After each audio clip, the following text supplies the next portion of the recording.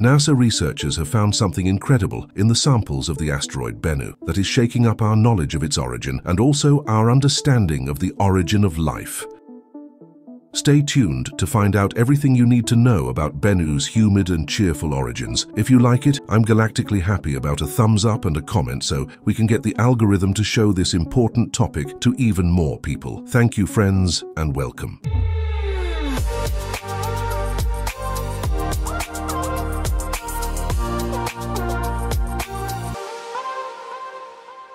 The asteroid Bennu is currently causing excitement in the research world. NASA scientists have taken a close look at the dust and rock samples from the tiny body and discovered something truly spectacular. To understand how this surprising discovery came about, however, we first have to go back a few years and look at a very specific space probe as part of the NASA-led New Frontiers program, which aims to advance the exploration of the solar system through space probes. Various probes were sent into space. These include the Pluto probe New Horizons, the Jupiter Jupiter probe Juno, and, importantly for us today, the OSIRIS-REx probe. The complicated name stands for Origins Spectral Interpretation Resource Identification Security Regolith Explorer.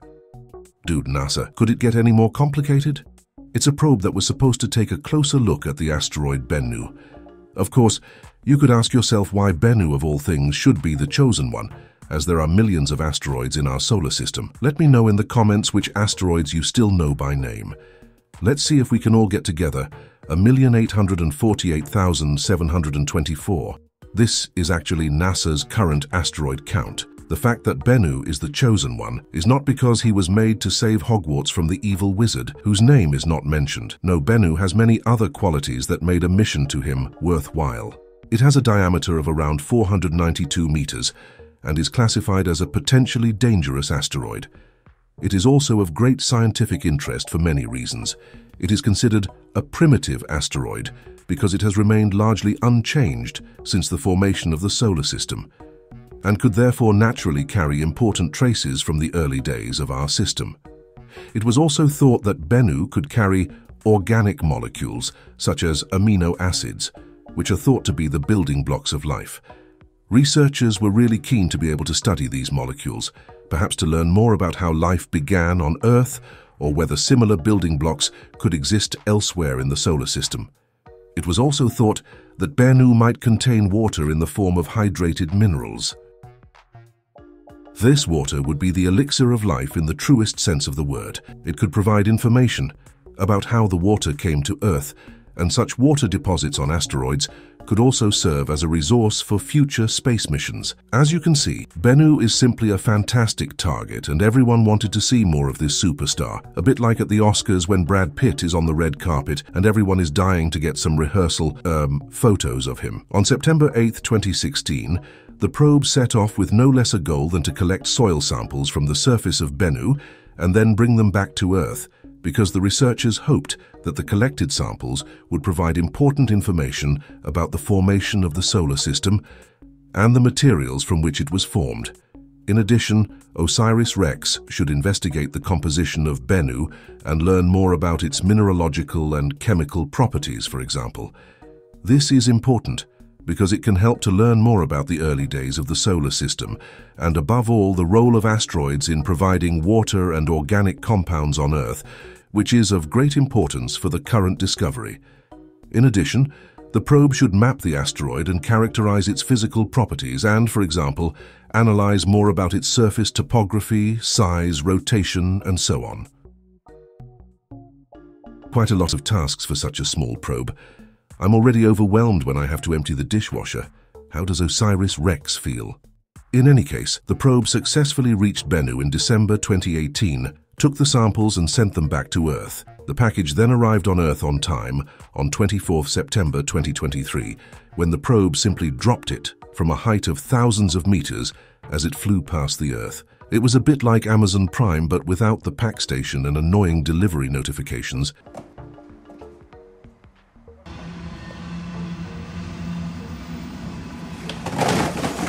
The researchers were able to recover the landing capsule quickly and safely, after its arrival on Earth in the middle of the Utah desert and subject it to a nitrogen purge in a sterile laboratory to avoid contamination. OSIRIS-REx then flew straight on again and paid a visit to Apophis. But now I can already hear some of you asking, what do the researchers want with a piece of dirt from an asteroid?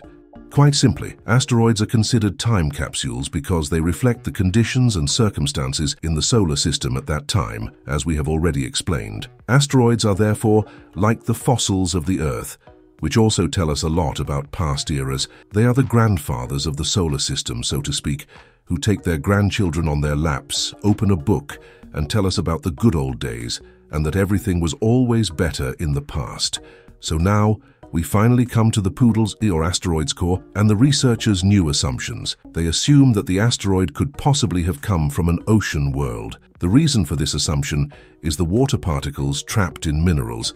It has already been assumed that something like this exists on Bennu. The samples from the probe have now confirmed this once again. Imagine that.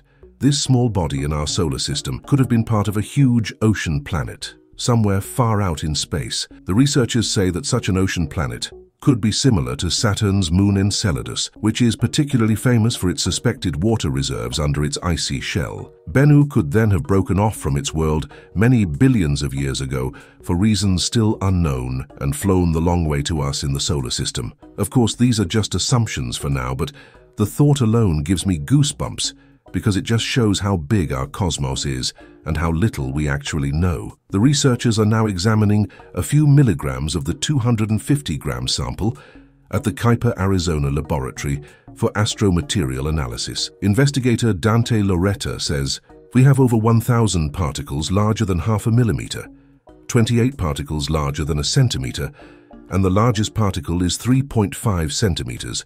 It's an impressive collection full of really big stones. He goes on to report that the samples differ significantly at the isotope level from what has otherwise been found in meteorite samples on Earth, for example. In addition to the trapped water, which in itself is a sensational report, the samples are also said to have a high density of carbon, nitrogen, sulfur and above all phosphorus. The latter is truly astonishing and is causing the researchers a bit of a headache as phosphorus is one of the most important building blocks for the development of living cells. This supports the hypothesis that life on Earth originated from material left on the Earth's surface by asteroids when they crashed down onto the Earth's surface during the turbulent early history of our planet. And the phosphorus concentration of the Bennu samples is astonishingly high. In the end, we really are all descended from Bennu, the Bennuians as a transboundary species or something. And if you then consider that the remains of the ocean planet could still be out there somewhere, then perhaps our cousins are flying around back there. At the moment, the researchers are continuing to analyze the samples, and for the researchers involved, it really is a once-in-a-lifetime experience as such, an opportunity to examine soil samples from extraterrestrial celestial bodies is really rare. It is only the third time in history that scientists have succeeded in bringing pieces of an asteroid safely back to Earth. So while the researchers, excited as they are in the lab, don't sleep a wink, we'll have to wait a little longer to find out more, and perhaps finally know what kind of dank past Bennu actually has behind it. Lauretta says, We're going to be busy for a long time, that's an enormous amount of sampling for us. But at the next Lunar and Planetary Science Conference in Texas in March, the team plans to report more about the analysis, and I will of course keep you up to date. But this is only possible if you follow my channel, as I know from the statistics that more than half of the viewers have not subscribed. It's free and you're helping me a lot. So everyone, keep pressing the subscribe button. Thank you very, very much. But we don't always have to fly into space to collect asteroid samples. Sometimes they come to us, especially in the Antarctic. There are thousands of meteorites from space lying around, and NASA researchers have just found something absolutely incredible under the eternal ice. Sounds a bit like John Carpenter's thing from another world. You can find out all about it and see spectacular original footage in the video below. Be sure to click on it. And if you want to continue supporting my work and have real meteorites, visit my Astro shop. Otherwise, I'd say see you in the next video. Take care, friends.